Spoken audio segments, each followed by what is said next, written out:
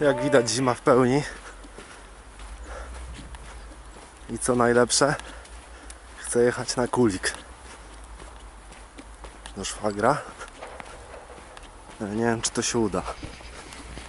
Po pierwsze trzeba odśnieżyć moją bestię, a po drugie mam letnie opony, więc będzie ciekawie. O, jak łatwo. Dobra, to lecę z odśnieżaniem.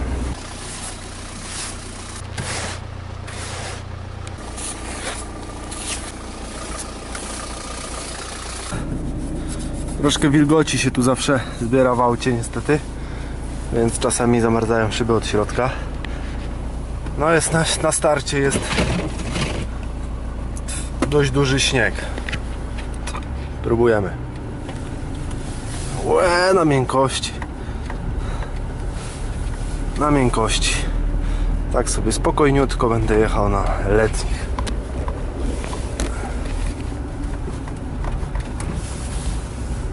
No czuć, że trochę rzuca. Ale tu już jest czarniejszy asfalt, więc lajcik.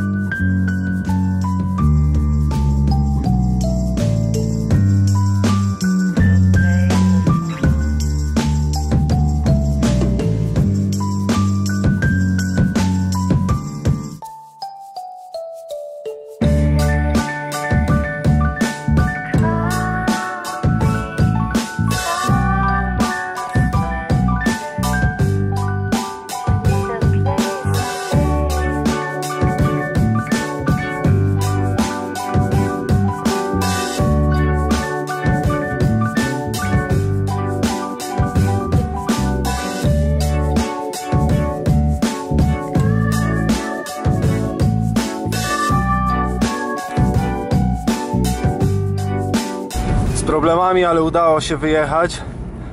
Teraz jeszcze pada śnieg, więc jest jeszcze gorzej. No nie polecam jazdy na letnich w takich warunkach, jakie w chwili obecnej są. No ale ja już nie będę zmieniał. Zresztą mało jeżdżę w zimę. Dobra. Wyłączam się, jadę jeszcze w jedno miejsce coś sprawdzić.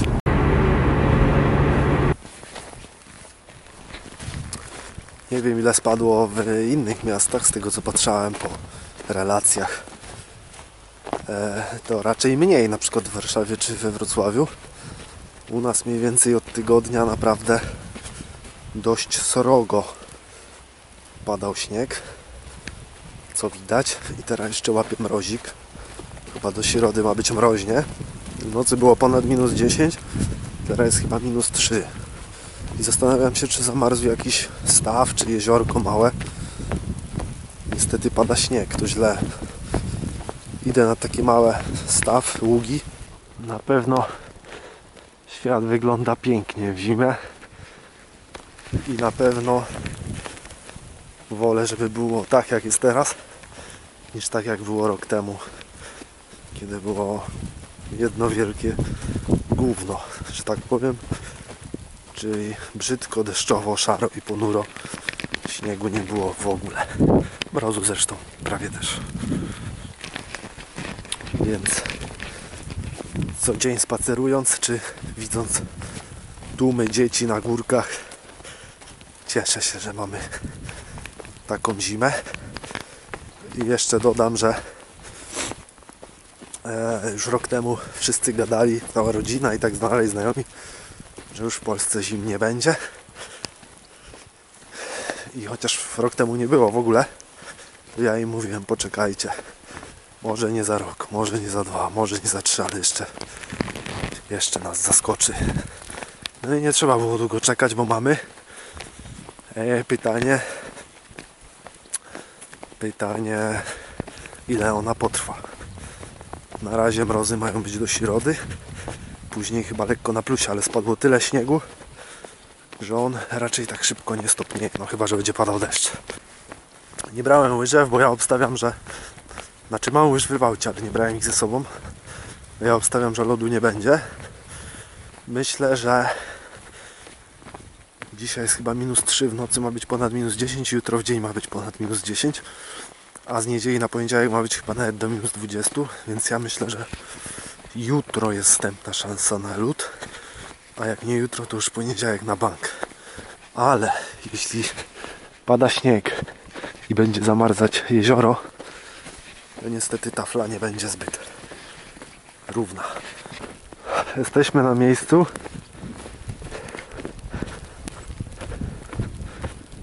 I już chyba widzę, że jest zamarznięte, ale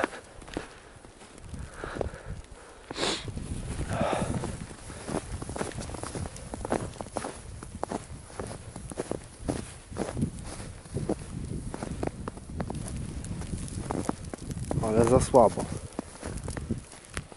I tu jest właśnie też mały problem, bo lód jest teraz przykryty śniegiem, który tworzy mu taką barierę ochronną. Z tamtej strony jeszcze spróbuję wejść.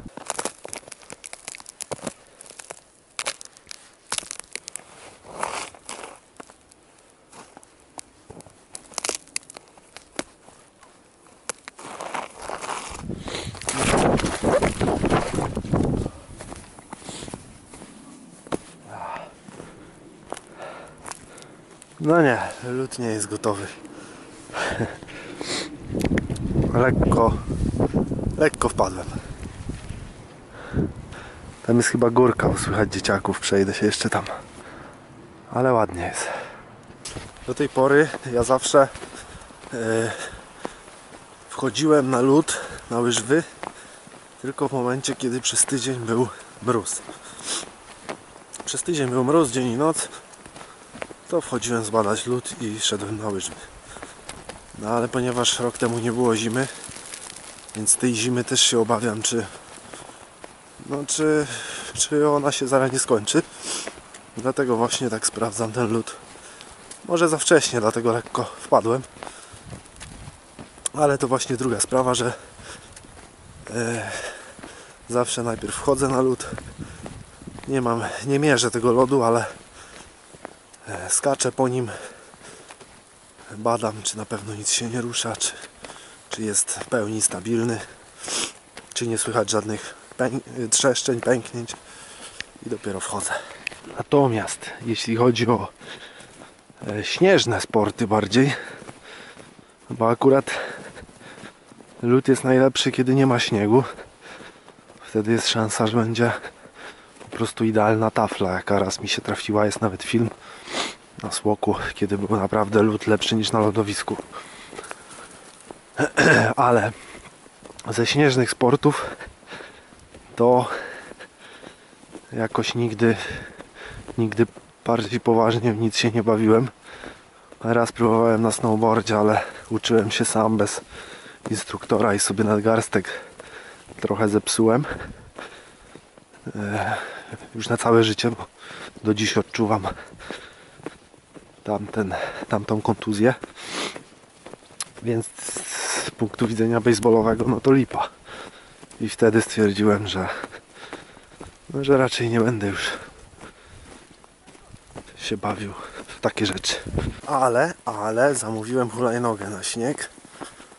E, to też jest takie postanowienie sprzed chyba dwóch lat, że jak będzie śnieżna zima, taka naprawdę śnieżna, to zamówię tą hulajnogę na śnieg. Bardziej zabawka, ale zobaczymy jak przyjdzie.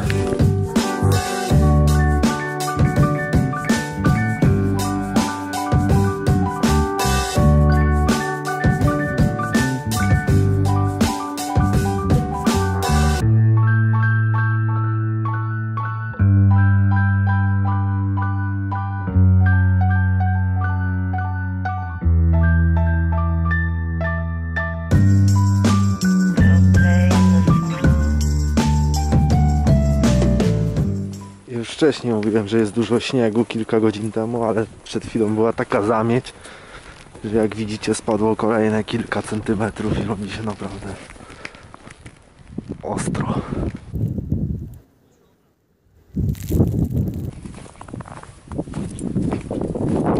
To jest miejsce, gdzie spędziłem większość dzieciństwa, czyli tory, które kiedyś nie były aż tak zarośnięte. I to właśnie z nich zjeżdżałem. Kawałek za mną znajduje się górka, na której jest teraz masa ludzi i generalnie jest to najpopularniejsza górka na Przytorzu. W tej chwili zostały tylko trzy górki na Przytorzu plus tory.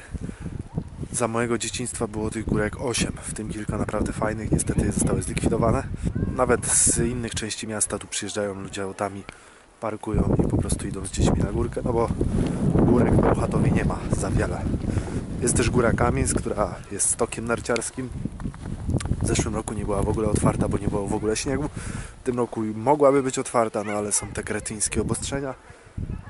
I oczywiście jest zamknięte, z tego co słyszałem, to było tam dzisiaj trochę ludzi i gdzieś tam bokiem wchodzili, żeby sobie na sankach chociaż pozjeżdżać. Popieram. To jest druga z tych górek, które zostały na osiedlu. Dużo mniej popularna, bo jak widać tu zjechać się nie da. Tam jest ulica, więc da się zjechać tylko tu i tu. No i poza tym jest niższa. I trzecia górka też średnia, też średnio wysoka, ale w miarę popularna, bo znajduje się trochę dalej od tamtych dwóch. Tamte dwa są bardzo blisko siebie, dlatego jedna jest prawie zawsze pusta, druga pełna, a jest trochę dalej. Bardzo wieje, więc nie wiem, czy będzie dobrze słychać. Ale no tak to wygląda. Na kulik chciałem iść, bo nie pamiętam. Pamiętam, że gdzieś tam coś mi świta, że w dzieciństwie byłem na kuligu, ale słabo go pamiętam, dlatego bardzo chciałem być na kuligu. I udało się dziś. Górki widzieliście. Po małym spacerze oprowadziłem Was po trzech, które zostały. Szkoda tych, co ich nie ma, bo były naprawdę fajne niektóre.